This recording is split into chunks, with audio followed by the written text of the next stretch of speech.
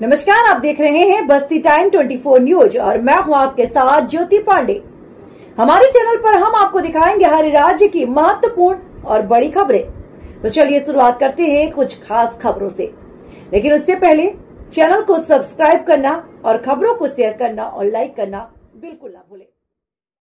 देवेंद्र नगर बाँध में गणेश विसर्जन शांतिपूर्ण संपन्न हुआ। हर वर्ष के बाद इस वर्ष भी गणेश उत्सव के घर घर में विराजित प्रतिमाओं का विसर्जन देवेंद्र नगर बाँध में हुआ।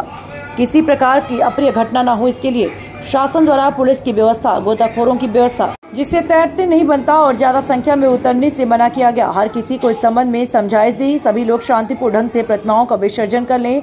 समय से घर जाए, बीते कुछ सालों में मूर्ति विसर्जन में छोटे बच्चे मूर्तियों को लेकर उतर जाते थे, जिससे कुछ घटनाएँ हुई। इसके मद्देनजर किसी भी बच्चों को बाँध में उतरने, इसके लिए मना किया।